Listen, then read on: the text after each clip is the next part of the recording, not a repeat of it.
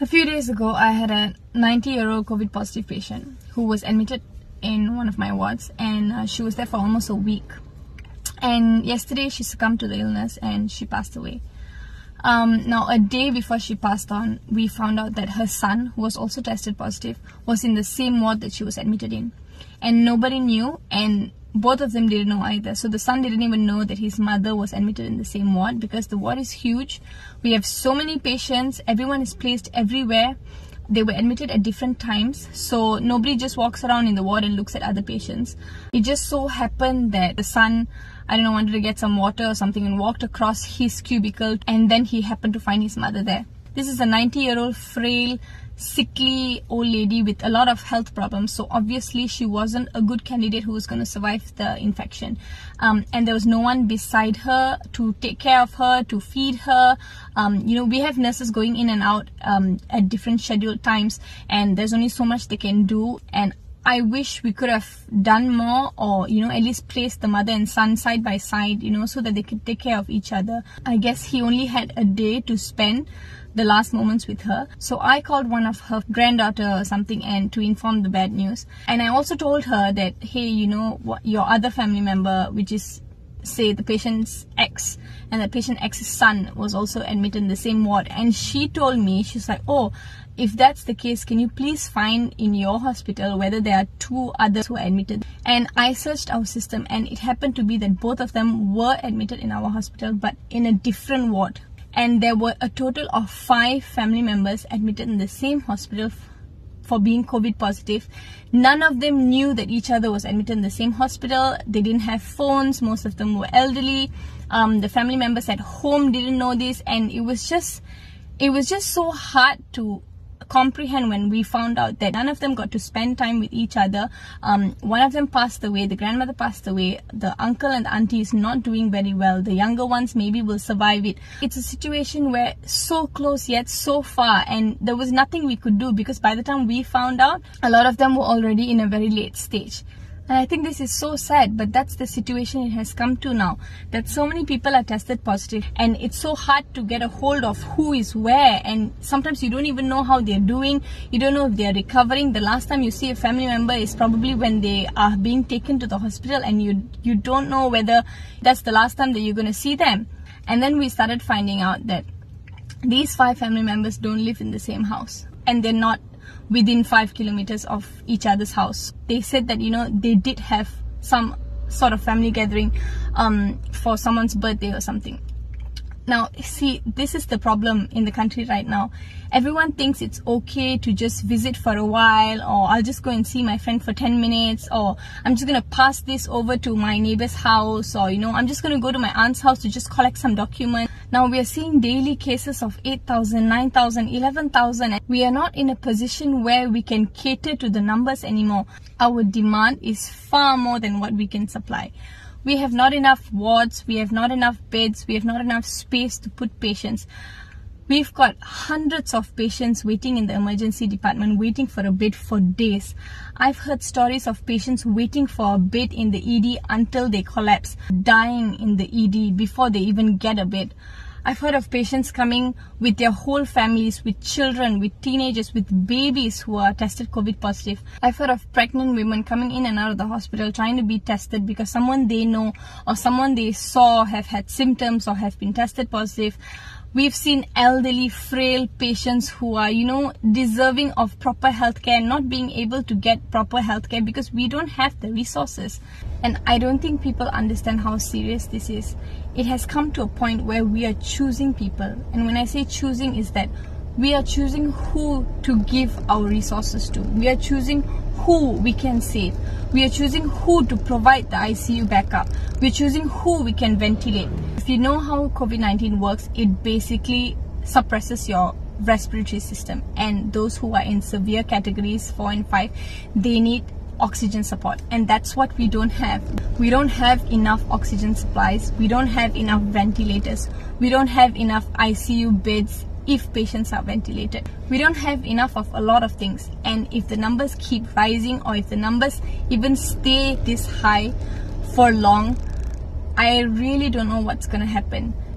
I'm sad to say this but it comes to a point where we have to choose younger, healthier patients with less health problems. We have had patients dying when they're not supposed to be dying. I had a colleague whose father was tested COVID positive and admitted in a different hospital to where we are working.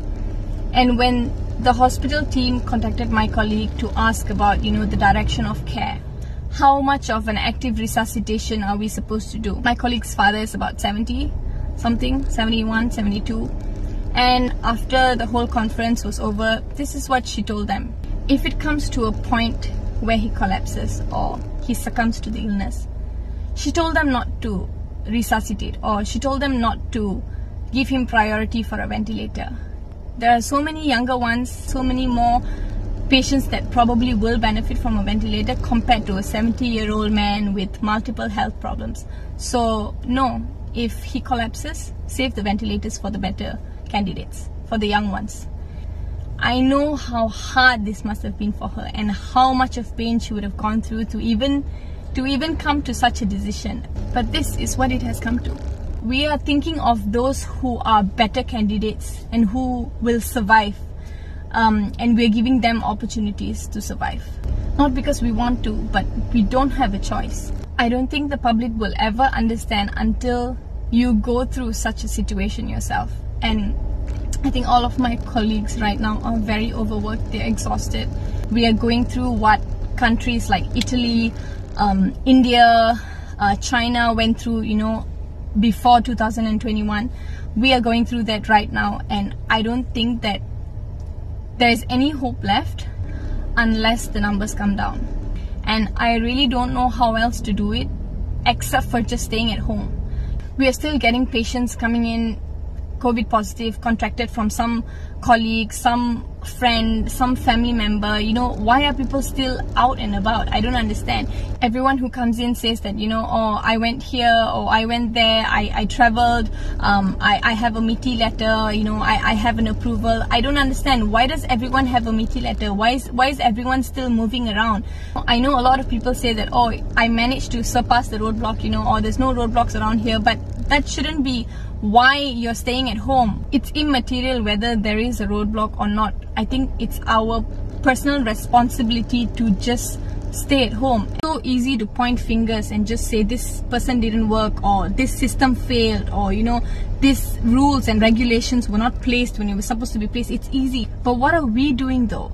Like we as the people it's our responsibility to flatten the curve to basically curb this problem and I don't think we're doing enough or I think we're taking it too lightly because everyone is just out and about. At this point with such a high number, literally everyone around you is probably COVID positive. You just have to have that mentality that everyone is COVID positive until proven otherwise everyone that friend that you saw you know in your neighborhood the grab driver who came to pass you your food the neighbor auntie that you go for walks with the delivery guy who brings your parcel is your friend that you try to sneak out and go out at 3 a.m the lady that you saw at the park jogging cycling your friends family uncles aunties cousins you know anybody could be positive at this point so you just have to stick with that mentality that everyone is positive until proven otherwise. So I think the only thing that we can do is just double up our protection, double masking, wear a face shield if possible. Don't go out if you don't have to. At this point, literally, nobody has to go out. There's, there is nothing urgent enough for you to go out unless you are a frontliner or there is a huge emergency or someone is literally dying. Even then, they could be COVID positive. There are a lot of patients being brought in dead, which is just sudden collapse, uh, sudden death, and nobody knows why. And when they're tested, it's a COVID positive case. A lot of people are asymptomatic. So it's not like before anymore where you're just afraid when someone sneezes next to you or someone coughs next to you. Now, the person next to you who's just smiling, happy, feeling, you know, in the pinkest of health is probably COVID positive. So just stay away from everyone right now at least until the numbers reduce or at least we have a better solution to this problem.